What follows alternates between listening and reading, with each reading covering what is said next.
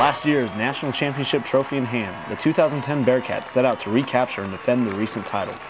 With many of the key players from last year's squad returning, the Cats were named the consensus preseason number one. I sat down with head coach Mel Tjeerdsma to talk about the preparation for this year's title defense. We approach it, this is a new year. Uh, 2010 team has to create their own identity. Um, this is their year. We've got 20 seniors. They're excited about what their, you know, what their contribution to Bearcat football is really going to be because this is this is this is their year, and so uh, uh, it it starts over every year.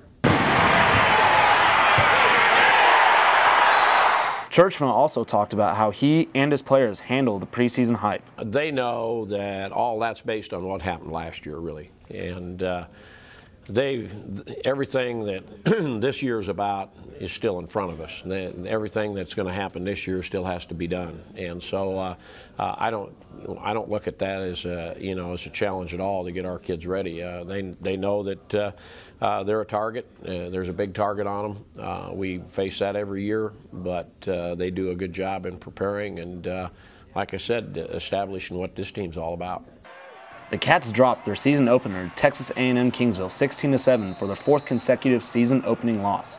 The Cats are not the only championship team in town as the Maryville Spoofhounds claimed the Class II title last year and aim to repeat last year's success with hopes of winning the Class III title.